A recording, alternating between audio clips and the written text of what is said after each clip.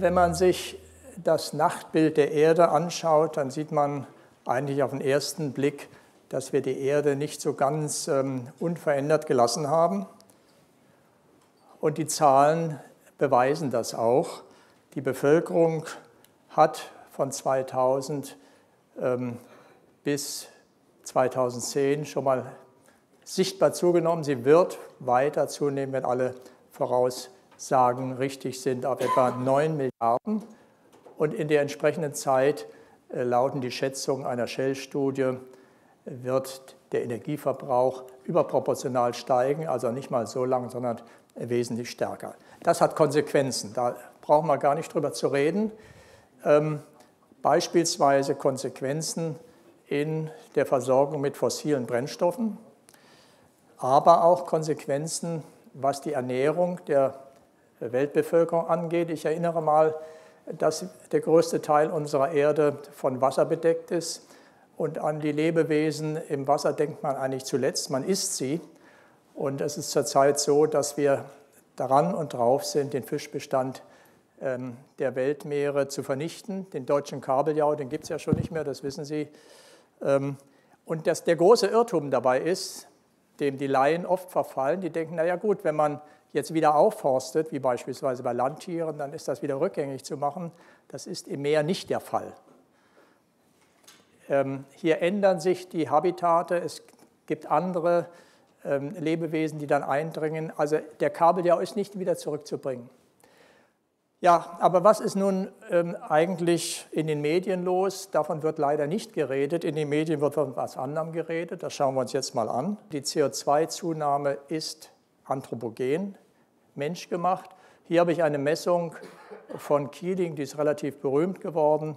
Und wir sehen also einen Anstieg äh, von 1960 ungefähr bis heute von 300 bis 380 ppm, Parts per Million damit Sie vielleicht eine Vorstellung davon bekommen, was das bedeutet, äh, nicht alle wissen das, das bedeutet, wir haben acht Moleküle mehr in 100.000 Luftmolekülen in dieser Zeit bekommen. Also CO2 ist ein Spurengas. Ähm, CO2 ist ein lebensnotwendiges Naturgas. Früher hat man das in der Schule gelernt. Heute wird das von den Medien etwas vergessen. Es ist also kein Schmutzgas, sondern wird zur Photosynthese gebraucht. Ohne CO2 gäbe es uns gar nicht. Es gäbe keine Pflanzen, es gäbe keine Lebewesen mit Schmutzgas oder Verschmutzung und ähnlichen Dingen hat das überhaupt nichts zu tun. Auch vielleicht ein kurzer Blick in die Erdvergangenheit. Wir hatten schon bis zu 18-fache CO2-Konzentrationen in sehr, sehr lang zurückliegenden Zeiten. Ähm, die Welt ist damals nicht untergegangen. Ähm, es gab keine Klimakatastrophe. Nun, wie sieht es aus im Moment? Wir haben, ich will das mal nennen, weil es so ein bisschen spektakulär ist, finde ich den Ausdruck, eine Temperaturrakete des IPCC. Ähm, die sagen nämlich aufgrund von Modellen Steigerungsraten in Globaltemperaturen voraus, die tatsächlich äh, recht schrecklich aussehen. Also die schlimmsten Werte hier, die liegen doch sehr hoch über unseren Werten heute. Das wäre tatsächlich bedenklich. Das IPCC fordert, und zwar aufgrund ähm, von Modellen, auf die ich noch zu sprechen komme, das IPCC fordert also aufgrund seiner Vorhersagen, die allerdings hier recht hohe Unsicherheiten haben, ähm, unbedingte CO2-Reduktionen. Ähm, allerdings sind diese Reduktionen, selbst wenn man die schlimmsten Szenarien mal als gegeben voraussetzt, von verschwindender Wirkung. Sie kosten viele Milliarden, sind aber von verschwindender Wirkung. Alle haben Sie diesen Flyer von Herrn Dr. Dietrich gesehen. Wenn man mal die deutschen CO2-Reduktionsverpflichtungen gemäß EU-Vorschriften nimmt, dann haben wir, also Deutschland, der deutsche Einfluss 0,0007 Grad bis 2020 weniger. Diese Zahl habe ich in einem Leserbrief an die FAZ genannt. Die hatte einige Resonanz. Der Leserbrief hatte einige Resonanz. Ähm, Kyoto bringt ungefähr 0,2 Grad weniger bis 2050. Soweit, so gut. Ähm, was vielleicht auch wenig bekannt ist, deswegen ein paar Worte nur darüber, was ist eigentlich ähm, Klima, das wollen wir gleich machen, und Zunächst einmal, bevor ich das mache, einen kurzen Fahrplan, geht ganz schnell. Klima und seine Vergangenheit wollen wir uns angucken. Was ist überhaupt der Treibhauseffekt und was ähm, besagen Klimamodelle, was können Klimamodelle? Dann vielleicht ganz kurz ein Blick in die Medien und dann zum Schluss ein Blick auf alternative Energien. Ja, die Frage, was ist überhaupt Klima? Nun, äh, von vielen Leuten wird Klima mit Wetter verwechselt. Das ist aber nicht so. Klima ist laut Weltmeteorologieorganisation das zeitgemittelte ähm, Geschehen von Temperaturen, Windgeschwindigkeiten, Luftdrücken, Feuchten und so weiter über mindestens 30 Jahre. Dieser Zeitraum muss erfüllt sein. Das heißt, es ist ein statistischer Mittelwert, ein Ensemble, ein statistisches Ensemble, das kann man eigentlich nicht schützen. Also Klimaschutz ist eigentlich ein unsinniger Begriff. Ferner gibt es kein globales Klima. Es wird immer von Globalklima gesprochen, das ist Blödsinn. Wir haben Klimazonen von tropisch bis polar. Das haben wir früher auch in der Schule gelernt, wurde alles vergessen. Ein globales Klima kann es nicht geben. Vielleicht ein kleines Beispiel stellvertretend Wetter, Klima in Gegenüberstellung. Wetter sind Hurrikanhäufigkeiten in den USA-Südstaaten über wenige Jahre. Sie erinnern sich alle an den äh, Hurricane Katrina, der New Orleans verwüstete. Die Saisons danach war nichts mehr los. Das ist also Wetter, das hat mit Klima nichts zu tun.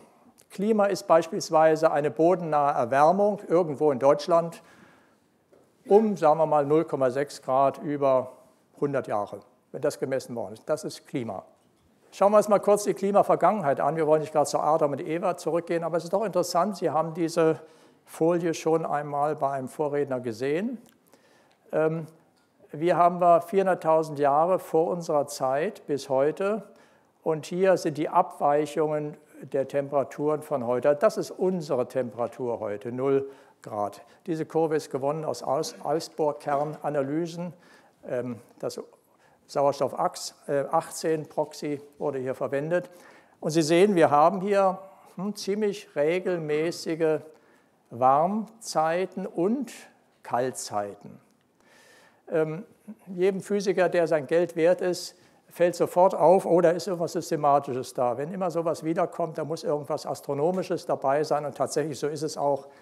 Diese ähm, Wechselzeiten oder diese Peaks hier können gut mit astronomischen Bahndaten der Erde erklärt werden, die in regelmäßigen Intervallen äh, sich ändern, also Abstand zur Sonne, Neigung der Erdachse und so weiter und so fort. Man lenkt das nach dem Entdecker dieser ähm, Daten, Milankovic-Zyklen. Ähm, vielleicht noch, damit Sie ein bisschen einen Eindruck bekommen, wo wir uns befinden. Der Neandertaler, der lebte hier so von 30.000 bis 130 vor, der hatte ziemlich Pech, der hatte nur eine schöne Warmzeit dann war es fürchterlich kalt. Ähm, hier hat man gefunden, ähm, Reichholf von der Uni München, der Biologe, hat in seinem Buch darüber sehr schön gesch geschrieben, Flusspferde an Rhein und Themse in dieser Warmzeit. Und das war ganz schrecklich hier, das waren die Zeiten, als die äh, Höhlenmalereien in Lascaux in Frankreich entstanden worden sind. Da gab es vielleicht ein paar Zehntausend Europäer noch. Ähm, die Gletscher sind bis nach Südspanien vorgestoßen in der Zeit. Ja, wir haben, wenn wir das so ansehen, im Grunde genommen nur Kaltzeiten, 90 Prozent Kaltzeiten und nur 10 Prozent Warmzeiten. Da sind wir. Hier sind wir. Ganz zum Schluss sind wir.